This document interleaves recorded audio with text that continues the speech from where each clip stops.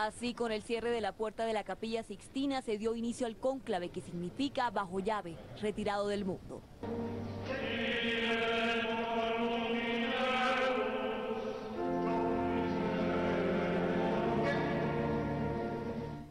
Una hora antes, con estas letarías invocando a los santos y pidiendo su intercesión, se adelantó la procesión de los 115 purpurados, desde la capilla Paulina hasta la Sixtina. Los cardenales, custodiados por la Guardia Suiza, emprendieron su camino hacia el cónclave y la elección del nuevo sumo pontífice.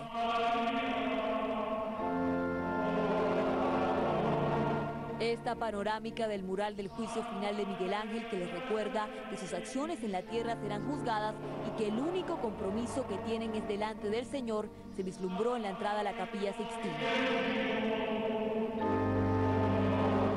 En parejas fueron ingresando. El último en hacerlo fue el cardenal Giovanni Battista Re, que presidió la ceremonia y actuó como guía protector.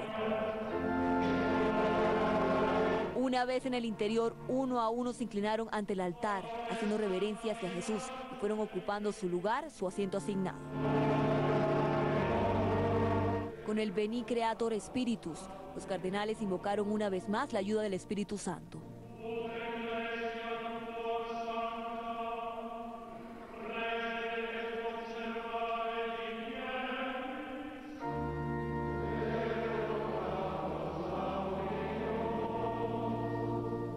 Y juraron mantener el secreto de todo lo que se diga o se haga durante el cónclave.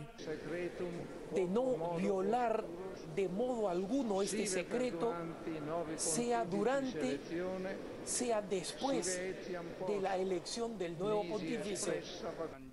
Los cardenales colocaron sus manos en la Constitución Apostólica sobre la que juraron guardar el secreto y respetar la normativa del cónclave